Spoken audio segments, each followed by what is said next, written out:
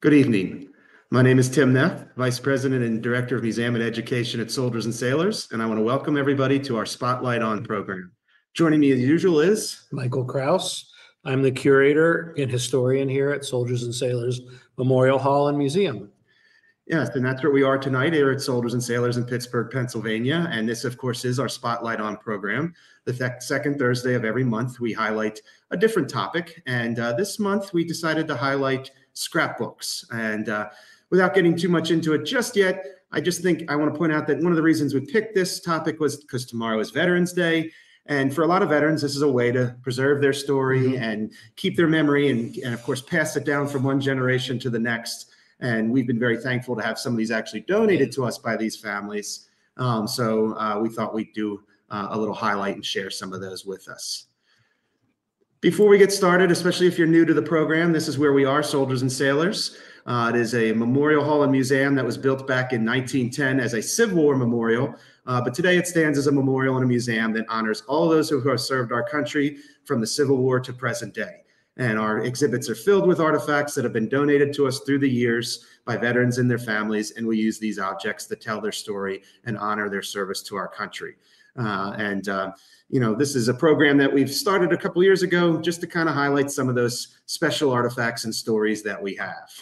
So if you haven't been down to visit us sometime, just a little pitch. Mm-hmm. It's a, a, always good time to come see us, but tomorrow especially is a great time. Uh, I'll talk about it a little bit more later on, but we are open free tomorrow for Veterans Day with extended hours. So um, if you're looking for something to do and a good way to honor Veterans Day, what better way than to come down to Soldiers and Sailors?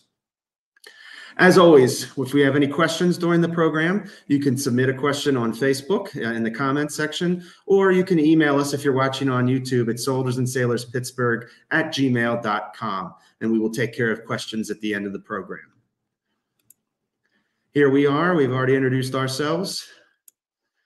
And that brings us to our kind of initial just look at mm-hmm. in general scrapbooks. We're going to get into some really detailed stories as we move along, but we just wanted to first address, you know, just scrapbooks in general. So what can you tell us about this this one here? Well, scrapbooks are kind of what they say they are. Right. It's a book for preserving scraps of your your history or things you're interested in.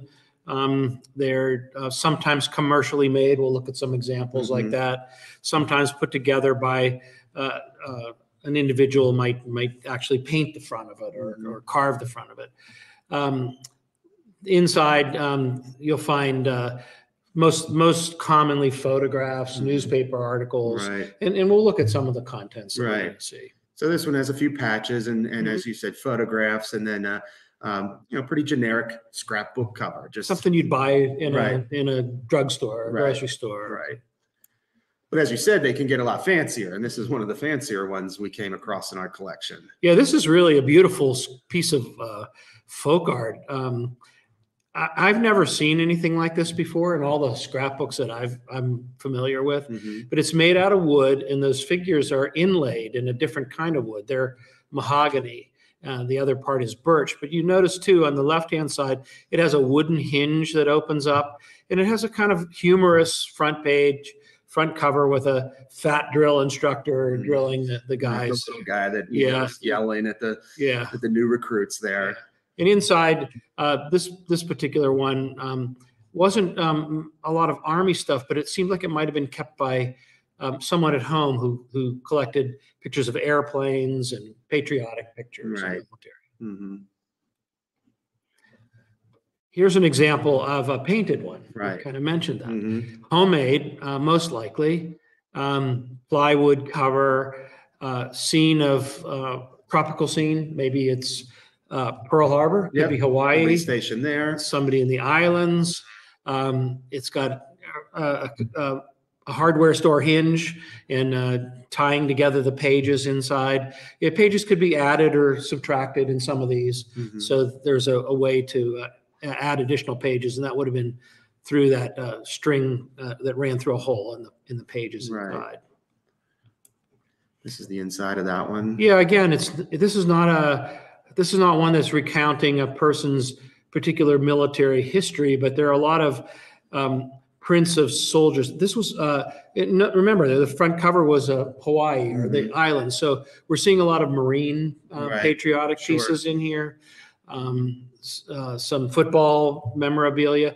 Now, the thing about scrapbooks a lot of times too is, is the images or the collected pieces are sometimes glued right to the page. Right.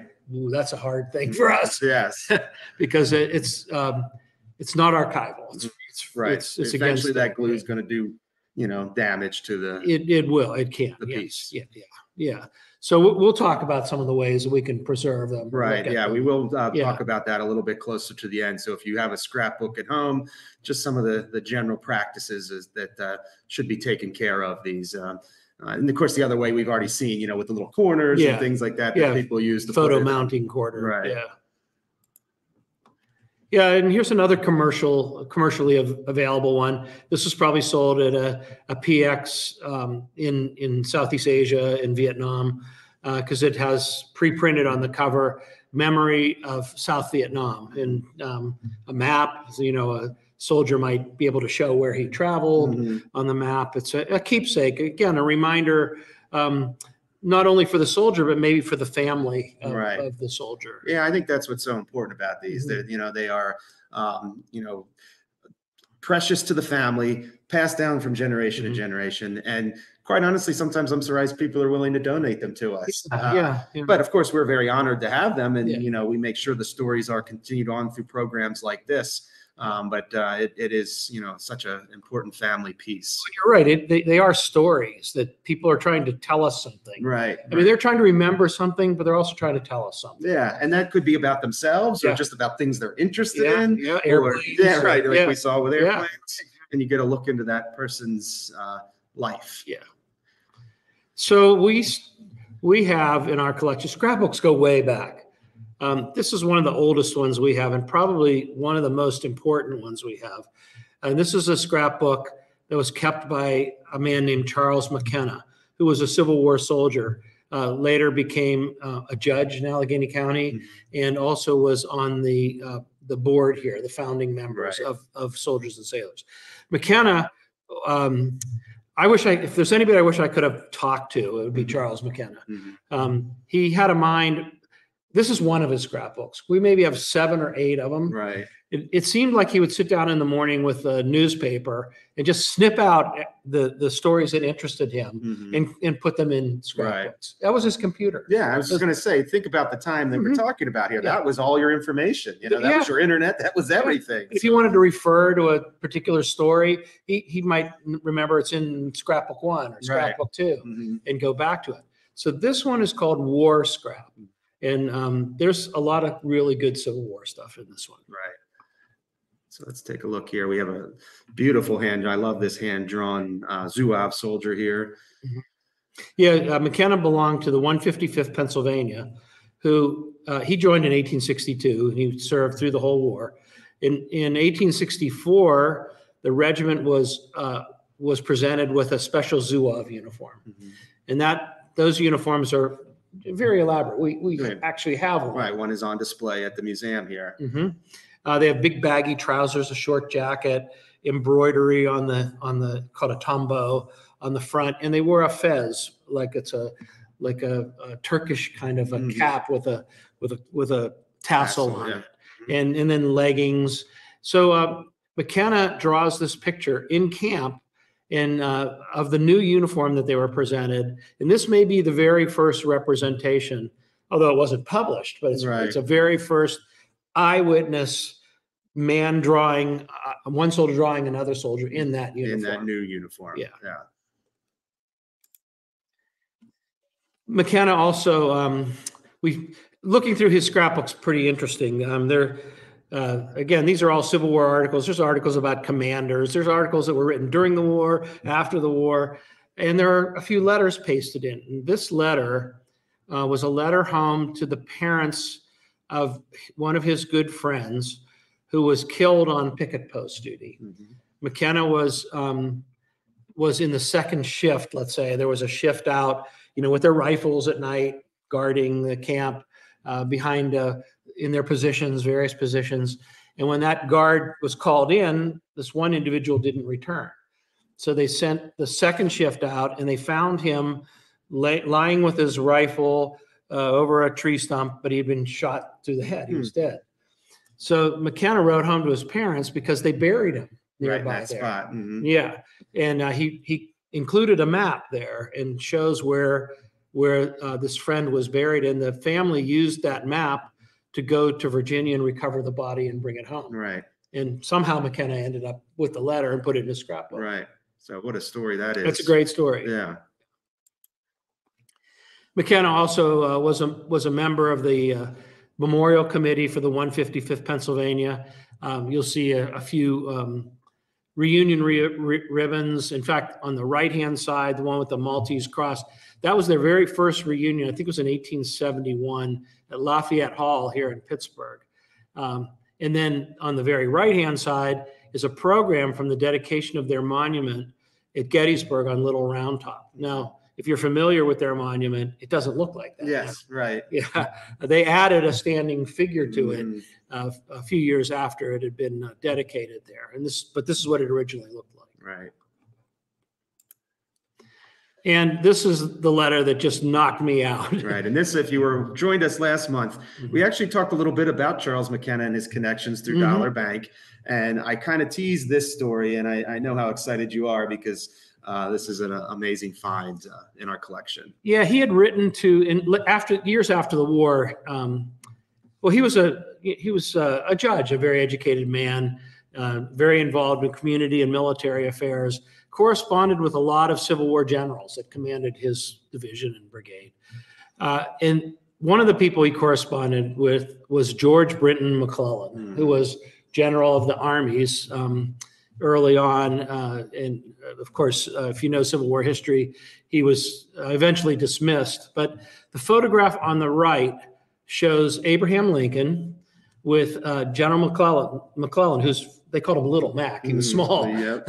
and you can see comparatively to Lincoln, him standing there.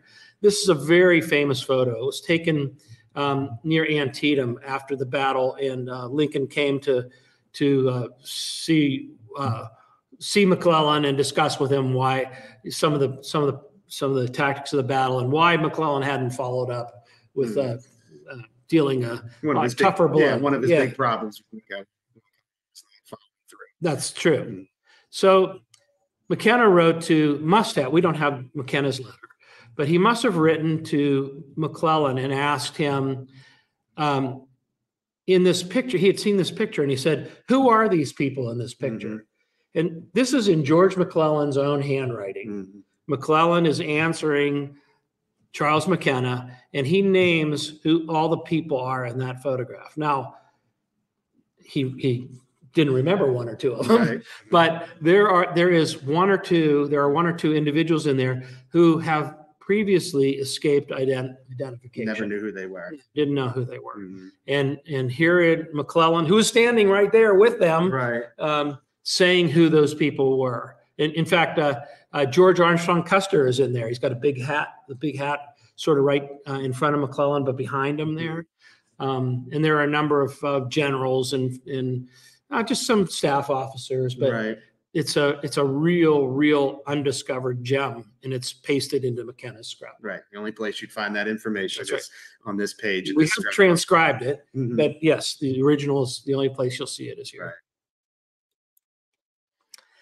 So we moved to uh, World War One, and um, scrapbooking, of course, is is going to continue. It's continuing to this day. Yep. Still done today. Uh, this is a this is a, a scrapbook that was really um, uh, probably a ledger, and it was turned into a scrapbook Mhm. wasn't sold as a scrapbook. So it's decorated with a shield, patriotic shield.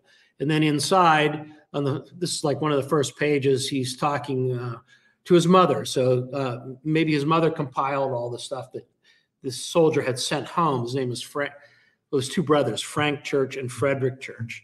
They're involved with this, but they, they sent home stuff apparently, and she glued it into the album. Um, especially a lot of um, commercial photographs and postcards of Rome and places Mhm. like that. Places where he was. Not not very interesting some, but there is an interesting page in here. And that is this page. So you see, um, there's uh, pasted in here is uh, a note with two little cloth dolls. Um, there's a red, white, and blue ribbon with a miniature doughboy helmet. hmm And then to the right of that is a miniature fourragère. That's a braided cord that um, the larger version was worn on a soldier's up on your- uniform. up on Yeah. your shoulder sleeve area. So um, this is something I discovered, didn't know about until I read uh, what what these little cloth dolls are, and they're two figures named uh, Nanette and Rin Tin Tin. Mhm. Uh, in France, before World War One, uh, Nanette and Rin Tin Tin were very popular children's book uh, figures. There were uh, kind of cartoon illustrated figures that were written about the adventures of Nanette and Rin Tin Tin Mhm. and they were they were um, you know very sweet and endeared to the French to French children. And um, so what what happened during World War II or World War One, especially when the Americans were in Paris and still fighting or passing through Paris, um, little girls made these little cloth dolls and gave them to soldiers for good luck. And on the right, you see a soldier wearing one on his, Right. on his There's a pocket. there. Yep. Yeah. And the note says, Surely good luck will abide with every man, woman, or child who will take to his kind care and keeping by the aid of a pin, little little Nanette and Rin Tin Tin. Yeah. So they weren't allowed to buy them and they weren't Mhm. allowed to ask for them. But if a child gave it to them, Mhm. it was considered like a, A good lucky, luck. a Yeah, good lucky, yeah, good, luck. piece. charm. Yeah. Yeah. So I've never seen a real one. Mhm. And, and this is the beauty of a scrapbook. Right. Somebody put it away. There it is. It's been out of the light and Mhm. out of the, it wasn't in a frame. It didn't lose its color. It's like, it's like brand new. Right. It's been very well preserved. Um, another scrapbook. Um, this one is unusual in the fact that it belonged to um, a society here in Pittsburgh. And what I mean by a society is um, there was a group. uh, I need to find the picture here. Uh, there was a group called uh, the Fatherless Children of France, Mhm. and uh, they they they existed on the French side, and they they found orphans or or or children that didn't have fathers anymore Mhm. and they were looking for American uh, churches or civic groups to adopt a Right. child, Right. Give them a home. give them a home. So this this album was compiled. Um, it belonged uh, the the organization here was the Ross Township branch of the American Red Cross. This is Charles He- Heber in Perrysville, Pennsylvania. Mhm. So she, um, let's, let's go to the another next page. yeah. Yeah. So this album contains correspondence from the mother of the child. Um, first of all, thanking the American Red Cross chapter here for the money that they were giving her and kind of reporting on her condition, you know, like how she's doing Right. and everything. And in in there is a picture of the little girl and her father. So one one of the um, one of the letters, which is the one that's in the middle, uh, talks about her father. Her father was wounded at the Battle of uh, Dixmude in 1914, November 10th, and belonged to the Regiment of Marines. Um, and after three months in the hospital, he was unfit for the front. He he was, was uh, embarked on the Mustafa II of the Division of Patrol Boats from March 1917 uh, from Italy to uh, He entered the hospital on the 20th of March 1917 with typhoid fever and died April 4th, uh, following there, thereof. And he belongs to those who died from France. So they, they also they say, uh, I remain alone with my little Mary. This is the mother Right. Coming from mom. who is now nine years old without any help. I therefore beg you, sir, to accept my humble thanks for the help which you have been uh, good enough to give me. In your great country of America, they know how to come to the aid of those who help, who the war has left in sorrow. So it's very touching, Mhm. very touching. And she, some of the other letters, she describes um, that the girl uh, is not doing real well. You know, she's what we would call depressed and Mhm. despondent and not responsive. And um, we, we don't know what happened to her. Uh, but there's a, there are pages of letters and correspondence from, from France. So there's the There girl right is, kind there, of Close up Yeah. there. kind of a pouty looking little Yeah. girl. Well, Yeah. this could have been Yeah. after the, Yeah. the news, of course. Yeah, after her father Yeah, passed. Yeah, yeah, and she, you know, um, but it gave a person a, a face to somebody overseas, and it, it speaks to the benevolence of Americans too Mhm. about And, one and the Red Cross Red organization. that, Cross. it's, of course, is still out there today doing what they can. And this is all coming together in, in the North Hills here of Pittsburgh. Right, that's right. Um, this is uh, an album um, that didn't have a lot of really interesting parts to it. Um, the the soldier's name was Alan Schofield, and and we feel like uh, he was sending things back. Mhm. Another, Um, another example of that. Mhm. Uh, this is dated 1943. But one thing that happens, you know, when when you're sending things home and they're being collected, is it's a time capsule. So it's a time stamp. And and why this is important in this particular case are the two patches that we see. So the patch on the left is the 28th Division, the, Mhm. the Pennsylvania Keystone, Yeah. uh, um, which he joined first, and then he went into the 101st Airborne um, The Screaming Eagles. the Screaming Eagles. So that patch, and, and this is before D-Day. This is before Right. anything. So he had he had joined the Airborne, sent home a patch, and in the world of patch collectors, uh, there's a strata of 101st Airborne, Mhm. and they they know every little variety Yeah. of uh, Any little change or Yeah. minute detail. where that was made, when it was issued, Right. pictures of men wearing it. And this one is unusual because it has a white tongue. And, and that's a, a rare variant of the patch. Right. And, and now we can date, we know this is not a copy. Mhm. We know that we can uh, use this as a reference point, that that's a 1943 variant of the 101st uh, Screaming Eagles Yeah. patch. Right. So one of those little uh, tidbits of information that may not mean a lot to the layman or somebody that's not interested in it, Yeah. but if you have that right person that you said is a dedicated to that to that Yeah. you know group, they're going to uh, find it extremely fascinating. Yes. rare. Um, this is a this photo album is in beautiful condition. It's like it, it it's like it was never opened. It's got a leather cover. It's clean as a whistle. It's pliable. It's just a beautiful album, well taken care of. Uh, get the sense that once it was completed, it may never have been Yeah, opened that again. was it. Right. Yeah. And this belonged to a nurse, an army nurse named Helen Valerie. And she, you'll see a lot of scrapbooks during this era too that have black pages, black construction paper Mhm. pages.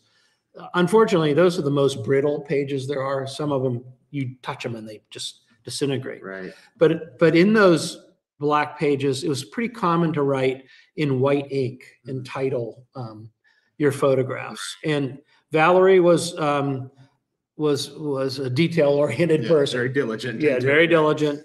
Every photograph is labeled where it is, her friends, who they are. Uh, and she was in France, uh, in Germany, which we'll see. Um, and so it's a really valuable uh, record, not only of the war, but of, of a nurse, a Mhm. woman nurse in serving in France and Germany. Right. And specifically some of her experiences as we see Mhm. here. Yeah, those that are he were that she were and uh, you know mementos those hotel or- hotel yeah, uh, right. scraps. You know, it, it helped her to remember, you know, where she was. And she collected them and put them in there. and you see the little details how you know uh, diligent she was with getting all of that you know written down about each Mhm. photograph Yeah, her friends. Mhm. you know, she made comments about them and um, there's, you know, vehicles and a lot of things. But one place she, she visited was, um, was Ebensee concentration camp. And uh, she was there in 1945, May 1945, uh, right after liberation. So she has taken photographs of some of the, uh, some of the bodies laying there, uh, some of the um, places of interest like uh, the hospital where, where autopsies were done on prisoners that were killed, uh, the ovens, the crematorium. Um, and it's another page in her album. Yeah, right. Really, Just uh, a- yeah. uh, another one of her experiences, however, a very, you know, Yeah. I'm sure Poignant. Yeah, poignant, right? yeah. yeah. She may not have showed that to many people. Right. And this is just one page, right? There was a couple of There were pages two of this. Pages of, uh, yeah, they were a little more gruesome. I chose not to show them. Right. Yeah. And, and then she ended up at Berchtesgaden. Yeah. Yeah. Right. like a page or two after this, which was Hitler's eagle's nest, where, where Hitler uh, had a, his uh, retreat. Mhm. And uh, she's photographed there. Right. So, you know, once again, I know you touched on it, but the amazing story of a, of a female Yeah. nurse Yeah. kind of coming in behind the army and going that same route that many of the soldiers, Yeah. you know, had gone through themselves. And of course, documenting it all along the way. Yeah. And we like this one because it says Pittsburgh. Yeah. right. Sometimes that just is enough to Yeah. grab you. Yeah. Um, you know, there's his name and it says Pittsburgh and um, pictures of his wife and child and maybe mother and father or brother and sister. Very typical uh, pictures uh, from that era. And here's a good one to see the dis- disintegration Yeah, I was just going to say this is really showing that uh, disintegration Yeah. and showing you know someone that isn't as diligent as Helen was with getting the uh, everything identified and and uh, Helen was the top. She, Yeah. she was very organized. Right. Uh, these are some other pictures in Fred's scrapbook. I mean, there were some good pictures. These are aircraft, um, aircraft wrecks or, uh, or, um, uh, airfields. and- broken machinery. Right. Um, now, some of these pictures uh, you'll find in albums. Some of them were commercially available, meaning that a, a photographer, maybe an army photographer, took the pictures, Mhm. and then in in some um, some way the guys could buy right packets them. yeah. Yeah, uh, this one I I don't recognize these photos, but in many of the albums we have, there'll be Right. uh, dead Japanese soldiers or um, dead German soldiers or uh, bombed out places or a crashed airplane that are commercial. That right, as opposed to the, the individual that actually takes Right. the photograph himself. That's right. obviously. That's So here's Jimmy's scrapbook. Yeah, this is an interesting one. Yeah, Jimmy was um, was a Marine. We don't know his last name, but this this scrapbook is dated 1936, so it's right before the war, and he went to China. And um, Jimmy um, had a lot of girlfriends, Yes. and and there are lots of pictures of girlfriends in here. Um, and I and I say this uh, tongue in cheek, and I don't mean to um, to overlook the fact that um, this is a trade that's um, you know probably that, that is that that may have been abusing people. Mhm, Yeah, so right. we want to just say that this is 1936, and um, these women were. Um, making themselves available in the port towns that sailors came in Right. and they sold pictures of themselves yeah Again, the- the- these probably weren't taken by Jimmy. These were probably bought No. Uh, along the way. no i think the next one Yeah, uh, though there is an example. yeah on the left hand side uh, jimmy's in a room with a with a woman and it, and it said and it's written in ink uh, jimmy having a good time Yeah, right. yeah uh, so uh, and that that was a picture that was probably taken by the hotel Mhm. and you know Right. taken for him and he he, he bought it Mhm. and um, you know, not every picture in there was risky or risque. There were looks like uh, maybe a sister or a friend in the cover, the second photo, and a, a poem about the girls he's met. Um, but we don't know anything more about it. Yeah. This is yeah, kind of one of those mystery ones that uh, you certainly can read into in many different ways. yeah, yeah, yeah, yeah. And uh, um, we have this photograph. This is Elaine Berkowitz photograph album. Elaine is a member of our board. Mhm. Um, she joined the Army in 1974 as an enlisted person. So her scrapbook has a lot of great pictures of her training, her friends, um, some of her commanding officers, uh, different experiences. She had promotions, um, um, lots of lots of mementos of her service. Now she served. Uh, the, the the scrapbook goes from 1974 to 78. But do you, do you remember when she retired? It was in the Much later than that. yeah, she got called back to Iraq Right. in the early 2000s. Um, she she she became a dentist. She went to dental school, Mhm. which elevated her in rank. She became Right. an then she was a dentist in the in the military. That's right. Mhm. And um, and she she went to uh, Iraq in uh, um, performed dental duties there and uh, retired as a lieutenant colonel. And we have a lot of her uh, pieces in our collection. And in fact, her uniform is on display. Yeah, it's in, on display in the exhibit here. I, I just want to point out there, you see a cool little photo in the bottom right there of the 99th Division patch there. And then I think we have another page of some of her Yeah, photos here. those are promotions. Um, and I like the one on the right hand side. Elaine told me those are her parents.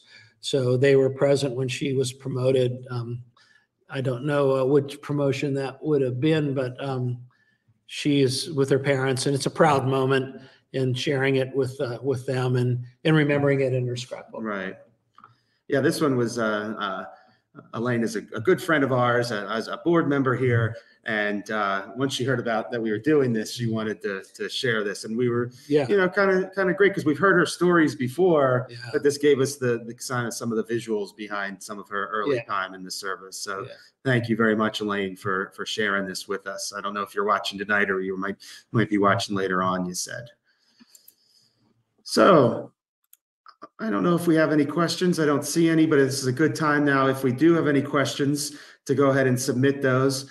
Um, but maybe in the meantime, this would be a good time for us to talk a little bit about caring for scrapbooks yeah, yeah. and you know how we do that and uh, you know a lot of things that maybe we don't even always do in practice because it's just financially not feasible but you know there are best practices and some recommendations Yeah, it, it, it can be expensive, you know, if you're going to buy archival materials to, um, to preserve your scrapbook.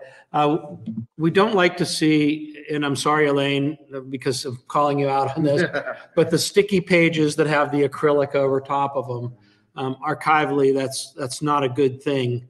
Uh, we, we, in some cases, uh, we would suggest that you photograph the album as it's, as it is, so we know the order of everything. right And then remove those photos Mhm. and put them in uh, protective sleeves and, and uh, uh, even digitally photograph them after that. And maybe put copies of the photos back in the album. Right. In in that. so, so you have the feel of it the, the feel is still Right. there but Right. you're preserving the the actual real item uh, And the long photos from, from Elaine's album, those, from the 1970s, um, are not, um, uh, the color is not color fast. Mhm. Like the process um, tends to fade. So you, you want to not subject them to anything that's going to accelerate that at all, but capture them in a photograph as soon as you can. right Um, other photos, other albums, like the ones that are falling apart, again, I would suggest photographing each page Mhm. so you know the order because we don't know why they're in those particular. right There may They're- be a reason, there may not be. exactly Um, and then removing them and scanning them, or uh, one thing we like to do, uh, especially uh, I know we did it in uh, Helen's scrapbook, is we take archival paper, uh, tissue paper, Mhm. and we put it between every page. right her, hers is so valuable with the writing in it and everything Mhm. that we just want to make sure that it- the pages don't, the photographs don't touch anything else Mhm. except something that's uh, non-acidic. Right. And that's the key when, uh, just to be clear, when you're saying archival paper, it's something that is not acidic, that will not bleed onto anything or Yeah. cause any damage to the item. Yeah, Um, once again, it's going to come with a price tag, but, Yeah. uh, you know, that's the best way to make sure that no further damage is going to be Yeah. occurring to, to these, uh, yeah. these At the least I would do, I would slip in our, uh, that archival tissue paper in Mhm. between each page. Right. And, and then just be very careful handling and photo, I should say the least, as part of that package, photographing the book. Yeah. And especially, you know, you think about newspaper, we all know how delicate newspapers are. Mm-hmm. Yeah. Um, so scanning or photographing those pages, um, you know, is going to get it digital and save Yeah. it forever. And, Yeah. you know, you can literally recreate the book, as we said, if you wanted to, Yeah. where it is, you know, Yeah. something that's physical and, and in your hands, but you know, is, is Yeah. safely preserved. So McKenna's book, Mhm. there's a, there's That's one a that, great example. that, this one, he glued everything. Right. Hundred percent contact Mhm. glue on, on wood pulp paper, which is uh, wood pulp paper has acid in it. Right. Um, you, you can usually tell it by by its brittleness. Um, it, you know, it was a cheaper way to make paper. Before that, they made it out of cotton rag. Right. In the 1870s, they found a way to make it out of wood pulp, uh, which has acid and and other other things that are bad in it. So McKenna glued his stuff down. So now what do we do? right. Yeah, Right. that that's a situation. Now that's a situation where that letter is so valuable Mhm. that we will someday have a professional Right. paper conservator Mhm. remove it from that album. Right. To save it. Yeah, to save it. Mhm. Yeah, it that deserves the expense and the time Right. to do it. There are there are examples that that that needs to be done with. Mhm. Yeah. And there are people out there that Yes. you know have those ability to you know safely remove something and uh, preserve it for the long term. Yeah, you, you need to look at a a, a qualified uh, paper conservator. Conservator, right? Yeah. All right. Well, I'm still seeing not seeing any questions. But as always, I'll take a few moments here to just talk about other things happening in and around soldiers and sailors. Um, uh, we are open daily. I, as I always recommend, though, to check our website, soldiersandsailorshall.org, um, just to make sure that uh, there's nothing prohibiting a visit on a special day, on a specific day. Guided tours are always available by appointment. Uh, you can call me and set up a guided tour. Uh, tomorrow, I mentioned this, but tomorrow we are open for free uh, for Veterans Day. We have a special exhibit set up, actually, two special exhibits set up. One is an amazing collection of patches that I finally saw kind of unfolded today. Um, I mean, it's almost every patch, uh, Yeah. you know, that, that that you can find out there that this gentleman collected. there may be a thousand patches Yeah, that he meticulously sewed onto blankets. right. Yeah. So we have the blankets on display with these these patches that are hand sewn on there. Uh, we also have um, this, uh, uh, an exhibit with a behind the scenes look at our America Defender statue. Uh, of course, we've had a spotlight on about this. We don't have to go in and we, we know Michael created it. Uh, it's it's out on our side, uh, Bigelow side uh, for, for public view. Um, but we have a little exhibit uh, that ta- that shows some of the behind the scenes look, some of the equipment that he used and the molds, things we actually talked about in our spotlight on, which this is a good time to maybe point out. You can always watch these spotlight ons whenever you Sure. want. You don't have to watch it live. It's always available on uh, our YouTube and Facebook pages, archived to watch past programs. So if you've missed any of them, you know you can always go back and check those out. Um, but you know that's going on tomorrow and Veterans Day. What better time to come visit us? We Yeah. kind of joke sometimes how every day is Veterans Day around Mhm. here, but truly tomorrow is one of the best days to to come and see us, and it's free, so you Yeah. can't really go wrong. Uh, also wanted to point out uh, a new program we have here called Adopt an Artifact. Um, you know, we talked to you just a minute ago how expensive it is to preserve and conserve and take care of our collection.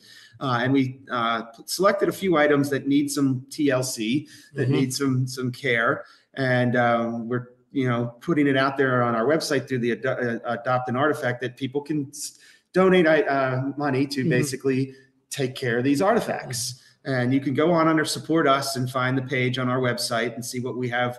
You know, some of the items we have a flag. I know, I know there's some World War II bomber jackets that as we build towards the goal, um, we can get them preserved and taken care of the right way. Uh, so that's a new program we wanted to point out, and we'll be probably talking about even more as we Yeah. go along here. This is just the, the very beginnings of it. Um, our tabletop gamers, we do not have a November, November tabletop gaming, but we do have a next one will be Saturday, December 17th. So um, any of those gamers out there, we hope that you will join us on the December 17th. And I know we're going to be doing a little bit about the Battle of the Bulge, and you know, Mhm. with December being the, the time frame for that in World War II. And that's actually also what we're going to highlight in our next Spotlight on program.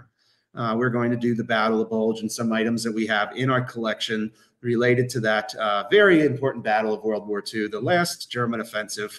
Um, and uh, we December is, like I said, when when the battle took place. So we're going to pull some of the items that we have in our collection, you know, out and and share those stories uh, next month for our spotlight on, which will be on December eighth, once again at seven o'clock. So I did see a comment here from Patrick. Hey, Patrick, how are you doing? Thank you for um, tuning in. Uh, Patrick's a, an old volunteer and an intern and good friend of ours. And uh, he says, Thank you. Scrapbooks are amazing to look through. And you're exactly right. Uh, it's one of the perks of the job here, Yeah. not it? Just Yeah. sometimes on a quiet afternoon, sitting down and who knows? Sometimes you make a discovery about, uh, you know, the Mc- McClellan McClellan letter. photo or Yeah. uh, Rin Tin Tin in the net, whatever Yeah. it may be. Um, it's it's always good to be to be learning out here. So, so I don't know if you have any other closing words. Uh, Um, no, just uh, come see us. There's a lot to see here. mhm. a lot of lot of stories that we we tell a lot of pieces you can learn from Mhm. and uh the, the building's beautiful um And now, for all of you out there, maybe you know it's a time for you to start your own scrapbook. Of Yeah. course, we talked about military scrapbooks, but uh, I sure know if sometimes uh, you know I did some pretty cool things, and I wish I had uh, Yeah. a better record of them. Uh, you know, yeah, you might have some uh, photos spread around or something like that, but man, if you had Helen's patience and put Oh, something yeah. together like that, uh, yeah. you know, it's it's pretty cool. So, uh, Jason, thank you. Uh, appreciate the program. Appreciate you tuning in. Thank thank you for the comment. And I think that's going to bring us to an end. So I want to just thank everybody for joining us tonight, and look forward to seeing you next month. And just remember, anytime you want, you can watch these videos on Soldiers and Sailors YouTube and Facebook pages. So with that, good night, and we'll see you next month. good night